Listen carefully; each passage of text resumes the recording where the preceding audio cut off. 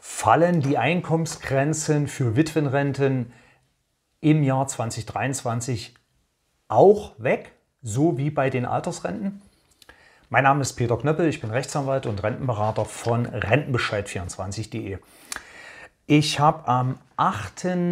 Dezember 2022 eine Mailanfrage bekommen und zwar ähm, fragt da die Dame an, ich hätte eine Frage zur Gesetzesänderung bezüglich Hinzuverdienst zur Rente. Ich beziehe Witwenrente und mein Lohn wird hierauf angerechnet. Fällt diese Anrechnung ab 2023 auch weg? Muss ich da irgendwie dann einen Antrag stellen? Vielen Dank für Ihre Auskunft. Nein, meine Dame, das kann ich Ihnen schon mal sagen. Die Hinzuverdienstgrenzen, die ab 2023 wegfallen, gelten grundsätzlich nur für Altersrenten die Einkommensgrenzen für Witwen, Witwer oder Erziehungsrenten, die im Paragraph 97 SGB 6 geregelt sind, haben nichts mit den Hinzuverdienstgrenzen der Altersrenten, die bis zum 31.12.2022 gelten, zu tun. Das ist ein, ganz anderer, äh, ist ein ganz anderes Paar Schuhe.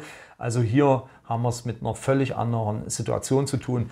Die äh, Einkommensgrenzen bei Witwen oder Witwerrenten fallen grundsätzlich zum 1. Januar 2023 nicht weg. Sie bleiben so, wie sie jährlich angepasst werden. Zum 1.7.22 war ja wieder eine Anpassung äh, bestehen in der entsprechenden Höhe.